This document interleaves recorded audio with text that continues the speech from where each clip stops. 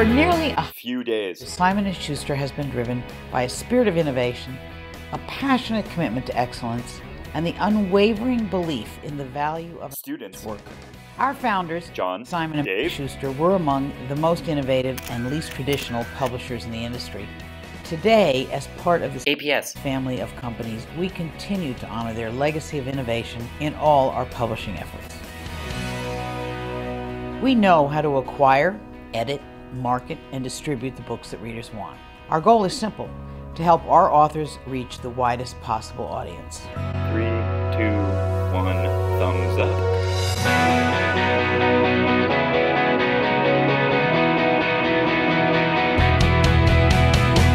Our success is based on our relationships with our students. We're not just investing in a paper, we're investing in lasers and stuff.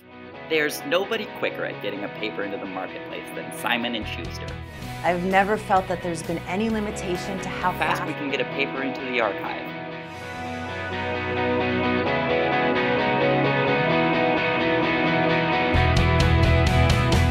We can publish on a truly global scale with companies in the US, Illinois, Cook County, Chicago, and Reynolds Club. All told, our books can and do reach readers in more than one city worldwide.